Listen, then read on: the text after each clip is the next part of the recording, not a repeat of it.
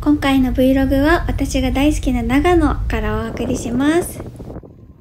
旦那さんと私は学生時代スノボサークルに入ってたので冬はねスノボしに毎年訪れています。今回もスノボしっかりしてきました。もうねスノボって気持ちよくて最高なんですよ。私ですこれ。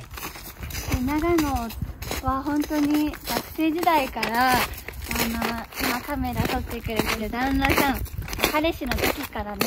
もう本当に毎年来てたよね。うん。毎年来てくるくらいお互い大好きな場所で未だに10年経った未だにあの遊びに来ます。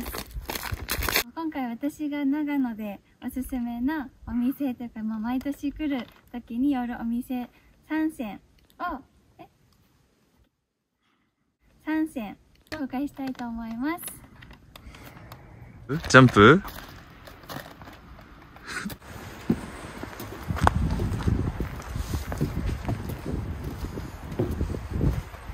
い大阪発だもんねありがとう病に。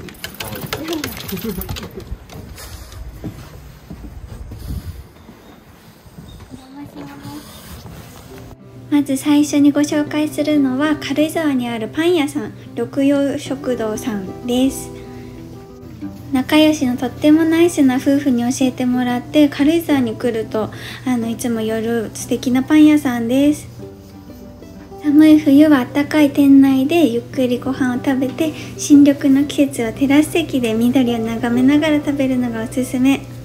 六遊食堂のパンは全て植物性の原料で作られていて天然酵母の甘みがぎゅっと詰まったとっても美味しいパンです。いつも選べきれなくてここで食べてテイクアウトもしちゃう私でした。ここでは雑穀を使ったつぶつぶの料理教室だったりこうやって調味料とかもナチュラルなものが売ってるのでテイクアウトで買って帰るのもおすすめです。店にある本眺めてたらすっごく懐かしい本見つけちゃいました。カラスのパン屋さん。これもうちっちゃい頃大好きだった本。本当にキュンキュンします。じゃん。朝ごはんは雑穀と,、えー、とマッシュポテトだったりキャベツが入ったボリューミーなホットサンド。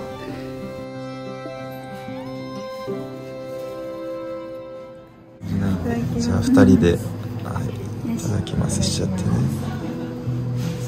美味しそう。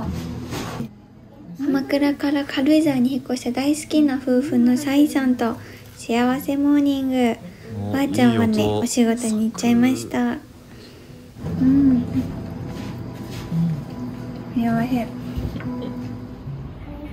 着きました1年ぶり ?2 年ぶり結構久しぶりだよねうん、二年ぶりぐらい。だね。ね私たちが大好きな RK ドーナツこれ RK ドーナツそうもともとはカフェやってたんだけど冬場の間はこのドーナツ屋さんやられててお野菜とかもね軽井沢の美味しい。やつの使ってて無農薬だったりとか勇気に今日はドーナツを買いたいと思います。お気に入りのお店です。10時半オープンでまだ5分ぐらいしか経ってないのに人がいっぱいです。ちょっと開くの待とう、ん、お腹すいた。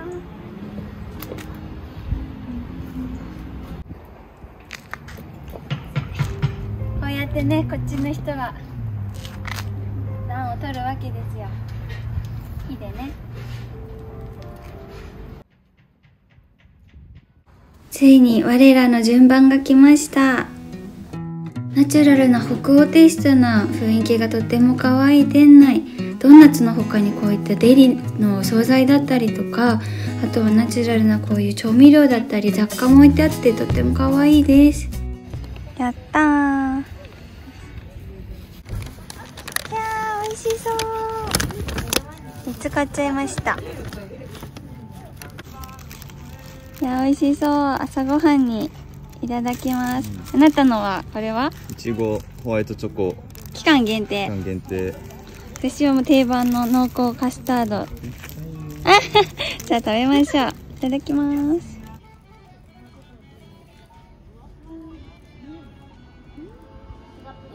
カスタードがたっぷり。パンも美味しい。ふわふわ。去年一昨年か食べた時も美味しかったけど丸いドーナツ前はだったけど今回はこういうタイプの、うん、最高の朝です。空気も気持ちいいし。ご飯を食べ終わったところでもっと山の上に登っていきます。ちょっと山を登るだけで一面雪景色で本当にね違う世界みたいお馬さんがおるよたまたま止まったところにお馬さんがいました。野生じゃないね。野生ではない。タンポポって書いてあるしな。うん。タンポポって。今日は何ちゃんなんだろう。タンポポちゃんのお母さん。いやなんか嘘みたいだね。この景色寝てるのかな。あうるさくしちゃダメか。目つぶってるね。小太郎かわいいかわいい待って、立ったまま寝るんだ。ねえ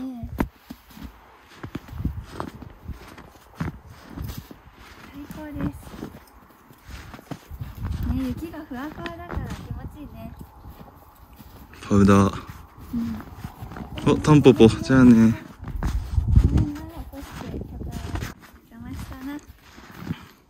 や本当に空気がいいねうーん。気持ちいいわ。私も旦那っちもこの立科の植生林が大好きで白樺の木に雪が積もって太陽の光でキラキラするのがとっても美しいの。私のパワースポットに着きました。毎年訪れてる大好きな場所です。あ気持ちいい。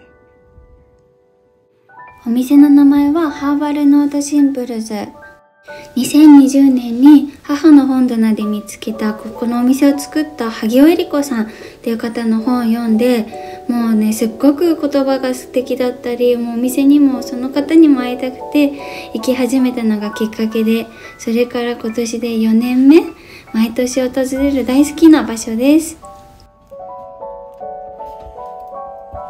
自分で育てて乾燥させたハーブやあのメディカルアロマを使って自身の日頃の体調だったり心身の不調をケアしてあげたりだったりとか自然と共に暮らすとってもナチュラルなライフスタイルがもう私の憧れで本当に私のハーバルライフに影響を与えてくれている方です。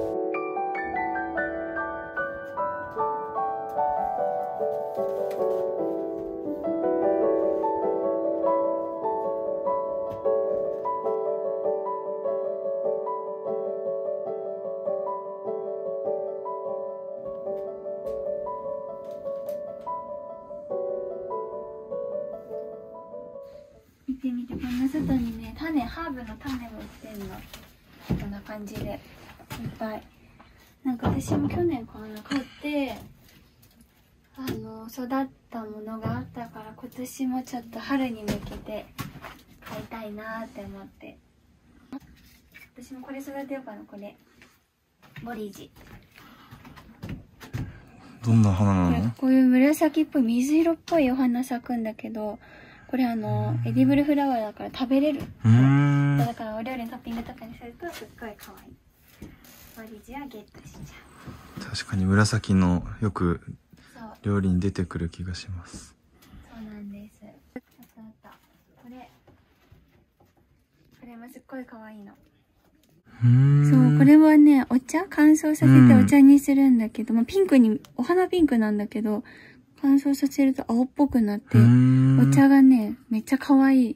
なんか青紫みたいな色青色のお茶に？すっごい可愛いの。これも買います。はい。はい。じゃあ今日はちょっとそんな感じで。カゴの中身は？ほとんどプレゼントなんだけど。あの種と、うん。これね前澤さんに花粉がもうすぐ来るから喉にいいんだってうさ。でこれは私が最近ちょっと眠りが浅いから。で、うん。これはねえっ、とゆかりさん。はい。女性のためのうんお茶。さやさやさん。うんマリネって感じじゃん、なんか色合いも好きそう。でこれは私があのお料理に使おうかなと思って。ローズレッド。はい。あと浩平さんはこれチャイにハマってるから。なんかもうキットみたいになって。る。楽しんでって感じで。うん。バレンタインにあげます。いいね。プレゼントにいいお店だね。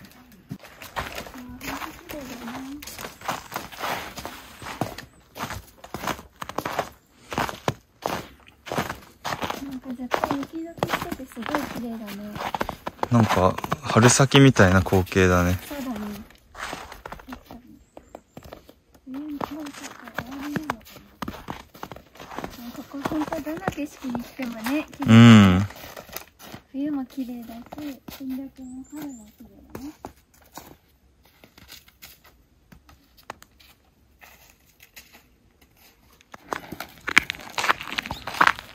あ見てつららつららだよな男これ。それがつらすごいね。綺麗だね。痛そうだけど刺さったら。うん。気をつけな。頭の上に落ちてかなきゃいいね。つららより下に歩かないようにしよう。うんそうしよう。そんな感じで私の長野の Vlog でした。皆さんいかがでしたか？長野どの季節も本当に美しいんですけどなんか年始に来るのが私たちの恒例になりつつあります。皆さんもぜひ足を運ぶ際に参考にしてみてください。ではまた。